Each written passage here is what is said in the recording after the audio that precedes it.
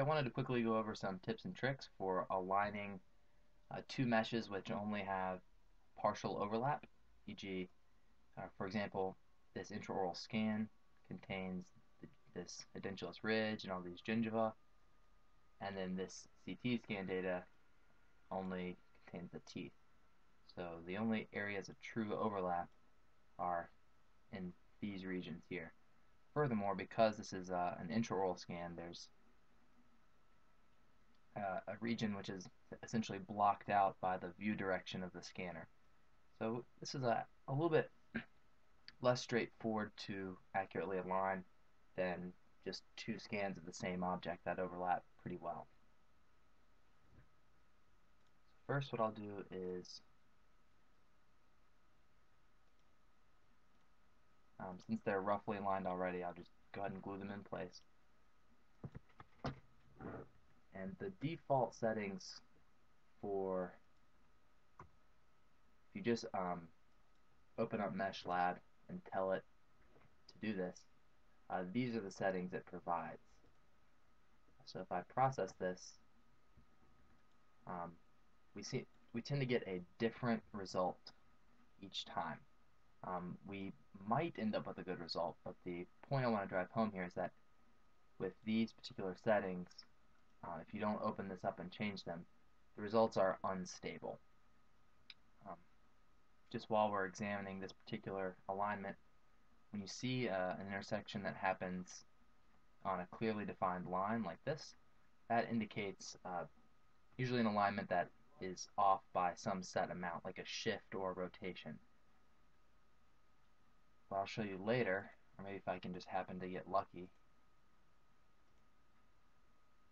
when you start to see areas that look like this with um, kind of a speckled overlapping, that usually indicates good alignment and that speckling is just from the random error uh, along the surface of the mesh. So to improve our results here, first thing you'll notice that the sample number is pretty small.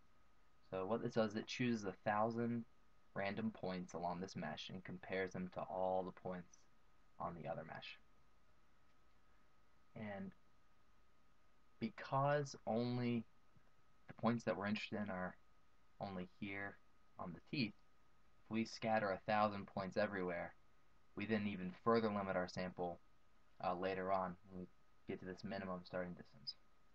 So this mesh has 59,000 vertices.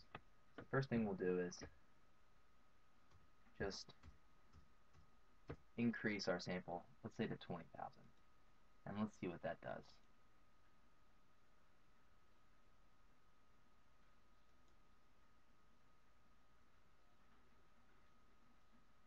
Alright, so we just do this a few times. We see we still get a little bit of shift.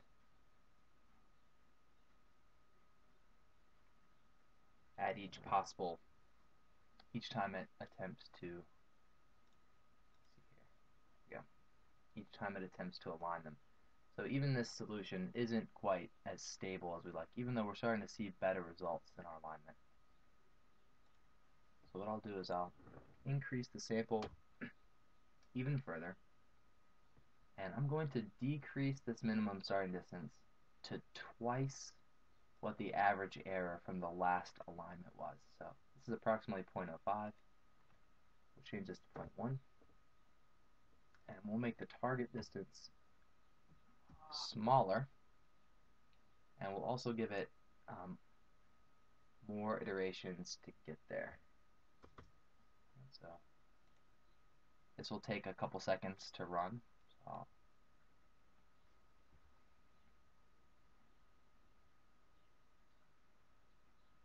process and wait.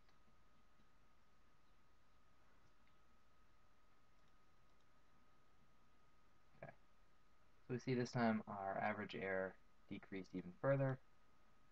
Um, the alignment looks even better still. We see speckling here, here, and here if I could rotate this, um, which I'll do after we're, we're done here,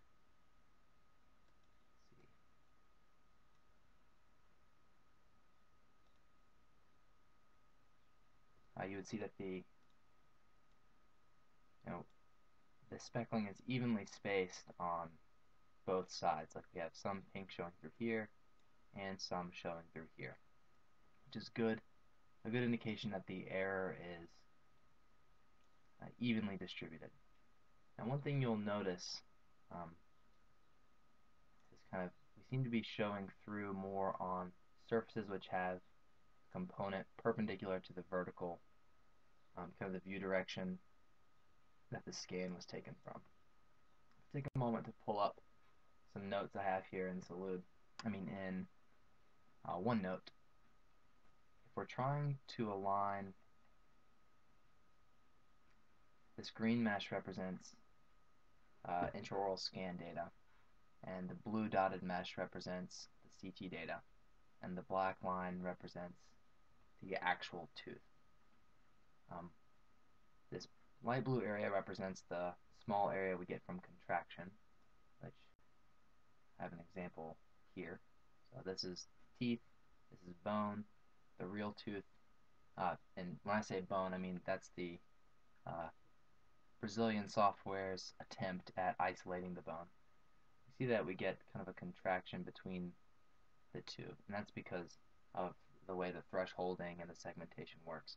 But the takeaway is that the CT teeth uh, segmented from, sorry, models segmented from CT data that represent teeth are going to be smaller than the actual surface. Okay, and then here we see the scan data you end up with this projected area that's blocked out. And that's just simply um, a byproduct of how the scanner works.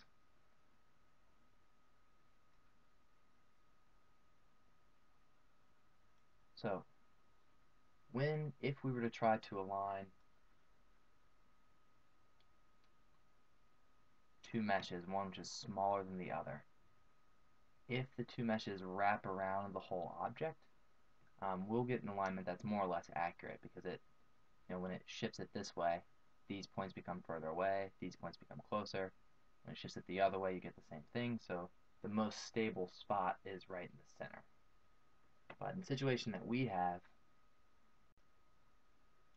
if we just align it normally, not excluding these parts of the mesh, we'll get something like this because it wants to try and take this part of the mesh here and make it close, as well as this part here. So you get this kind of balancing act.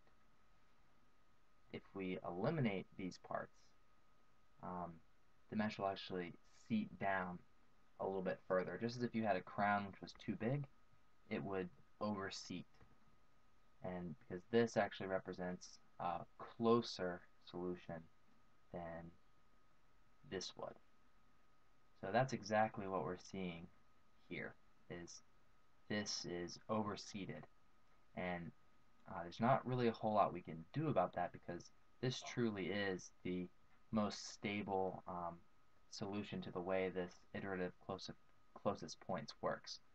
Uh, the good news is, is that if this mesh is too low and we build our guide on it, and in reality it's higher, uh, it's an error in the safe direction, meaning this would result in implant placement being not as deep as planned, which is safer than deeper than planned.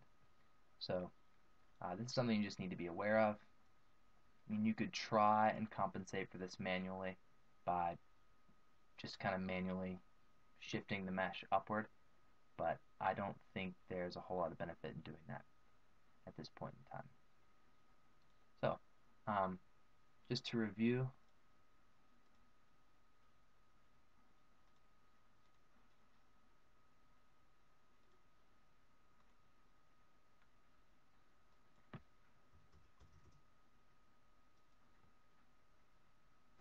The method I like to use is to start with some loose settings to roughly glue, then take this error bound and double it.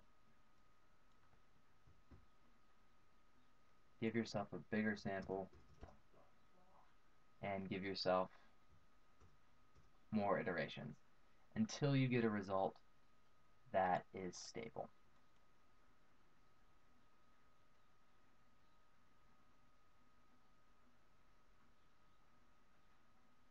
And the way you check for stability is when this number seems to be about the same